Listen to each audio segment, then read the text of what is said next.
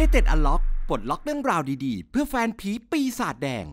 กลับมาเจอกันกับ United Unlock เหมือนกันอีกเช่นเคย กลางสัปดาห์นี้ก็เหงาๆหน่อย ไม่มีแมนยูมาให้ดูกัน เพราะโปรแกรมถูกเลื่อนออกไปเป็นที่เรียบร้อย คิดซะว่าได้พักก็แล้วกันครับ รอกลับมางวดหน้าอีกครั้ง ขอแบบชุดใหญ่ๆไฟกระพริบไปเลย แต่เรื่องราวข่าวสารยังคงเหมือนเดิมครับ วันนี้เราจัดมาให้แบบเน้นๆไปเลย จะมีอะไรน่าสนใจบ้าง เดี๋ยวไปดูกัน เริ่มที่อาการอัปเดตของวิกเตอร์ลินเดเลฟหลังจากที่ก่อนหน้านี้เจ้าตัวมีอาการหัวใจเต้นผิดปกติ ในนัดที่พบกับนอริชซิตี้แต่ข่าวล่าสุดก็น่าสบายใจได้แล้ว เพราะทางสโมสรยืนยันเอาเองแล้วว่าลินเดเลฟไม่ได้มีเกี่ยวข้องกับโรคหัวใจอะไรร้ายแรง หรืออาการติดเชื้อโควิดแต่อย่างใด หลังจากที่มีการตรวจสอบกันอย่างละเอียดแล้ว ทางภรรยาของพี่เลิฟก็มีการเปิดเผยเพิ่มเติมว่า ตลอด 2 วันที่ผ่านมาลินเดเลฟต้องมีเครื่องทดสอบการเต้นของหัวใจติดตัวเอาไว้ตลอด แต่ตอนนี้อาการไม่น่าเป็นห่วงอะไรแล้ว รอแค่ผลตรวจครั้งสุดท้ายเพียงเท่านั้น ส่วนทางด้านฟิลโจนส์ที่หายจากอาการบาดเจ็บมา ในตอนนี้เจ้าตัวก็ได้ขอให้ราล์ฟรันนิก ส่งเขาลงไปเล่นกับทีม U23 ก่อน เพราะต้องการเรียกความฟิตให้ร่างกายกลับขึ้นมาสมบูรณ์แบบ100%อีกครั้ง ก่อนจะกลับขึ้นมาเป็นตัวเลือกในตำแหน่งเซนเตอร์แบ็กของทีมชุดใหญ่ต่อไป ซึ่งทาง The Athletic UK ก็ได้บอกว่ารันนิกโคตร impress กับความทุ่มเทของฟิลโจนส์มากๆขยับกันมาที่ข่าวคราวการซื้อขายจากรายงานของฟาบริซิโอโรมาโน ผู้สื่อข่าวช่างซอย tier 2ได้ระบุว่า โจนลาปอร์ตาประธานสโมสรเจ้าบุญทุ่มบาร์เซโลนาได้มีการนัดพบกับมิโนไดโอลาเอเย่นต์ส่วนตัวของพอลป็อกบาเป็นที่เรียบร้อย เพื่อพูดคุยเกี่ยวกับความเป็นไปได้ในการดึงตัวกองกลางจอมแฟชั่นรายนี้ มาเยือนถิ่นแคมป์นูให้จงได้ โดยทางโรมาโนได้บอกว่าความสัมพันธ์ระหว่างลาปอร์ตาและไดโอลาถึงเข้าขั้นดีสุดๆ ดังนั้นความเป็นไปได้สำหรับดีลนี้มีมากพอสมควรเลย ส่วนทางโรม่าก็ยังไม่ล้มเลิกความตั้งใจในการขอยืมตัวเดีเอโกดาโลในตลาดหน้าหนาวนี้ แต่ล่าสุดทางแมนยูได้ยืนยันอย่างชัดเจนแล้วว่า ดาโลคือนักเตะคนสำคัญของแมนเชสเตอร์ยูไนเต็ดหลังจากที่ฟอร์มในยุคของราล์ฟรันนิก ถือว่ามีการพัฒนาอย่างก้าวกระโดด และพร้อมที่จะเบียดแบ็กขวาตัวจริงของทีมได้อีกด้วย ดังนั้นจึงไม่ต้องมีเหตุผลอะไร ที่ทีมจะต้องปล่อยยืมเขาไปในตลาดรอบนี้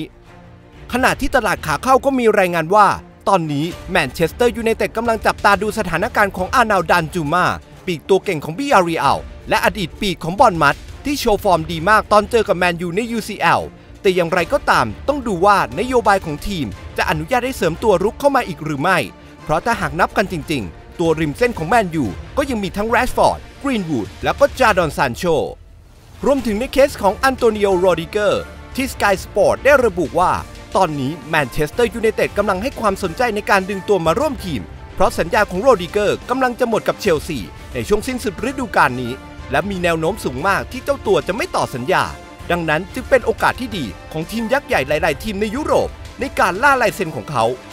ส่วนประเด็นของโอเลกุนนาร์โซลชา หลังจากแยกทางกับพวกเราไป ล่าสุดดูเหมือนว่าจะมีงานใหม่จ่อรอคิวเขาอยู่แล้ว เพราะทางเอเวอร์ตันกำลังจับตาดูอย่างใกล้ชิด ในการดึงตัวเขาเข้ามาร่วมทีมต่อจากราฟาเอลเบนิเตส ที่ช่วงหลังท็อฟฟี่สีน้ำเงินทำผลงานได้แย่มากๆ ขณะที่เรื่องการระบาดของเชื้อโควิดทาง The Guardian ก็ได้รายงานว่า ตอนนี้ผู้เล่นและเจ้าหน้าที่ในพรีเมียร์ลีกมีผลตรวจเป็นบวกถึง 42 คน ในช่วงสัปดาห์ที่ผ่านมา ซึ่งนับเป็นยอดสูงสุดตลอดการ 3 เดือนหลังมานี้ทำให้อาจจะมีผลต่อโปรแกรมการแข่งขันของพวกเราโดยก็เป็นได้ หลังจากที่ก่อนหน้านี้ เกมกับเบรนฟอร์ดก็เลื่อนออกไปแล้ว ส่วนโปรแกรมนัดหน้าจะพบกับไบรตัน สถานการณ์ยังสุ่มเสี่ยงอยู่ ถึงแม้พวกเขาจะลงเตะในกลางสัปดาห์ก็จริง แต่ก็ยังมีผู้เล่นที่ติดโควิดในทีมอยู่เหมือนกัน และดูท่าทีว่า หลังจากนี้สถานการณ์อาจจะเกิดขึ้นหนักด้วย